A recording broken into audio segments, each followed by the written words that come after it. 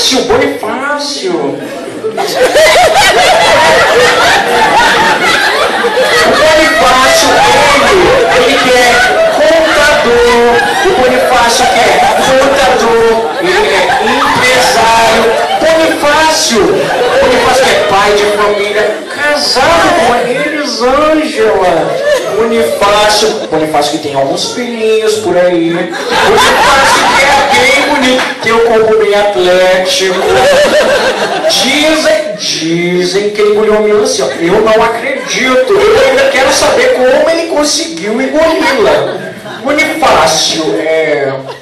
Me explique, como você comeu a melancia? Olha, perguntando, responda. É, produção, ô produção, cadê o café? Cadê o café?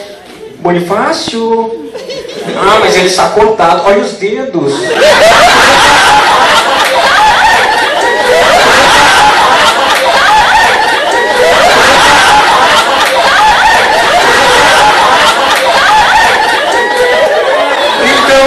É, Bonifácio, me conte.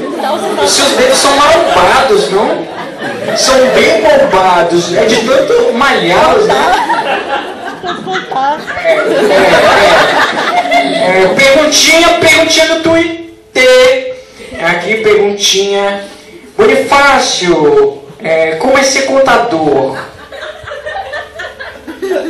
Bom, é, acho que vamos para o nosso próximo, porque difícil. Produção, pedi para entrevistar gente top. Gente top.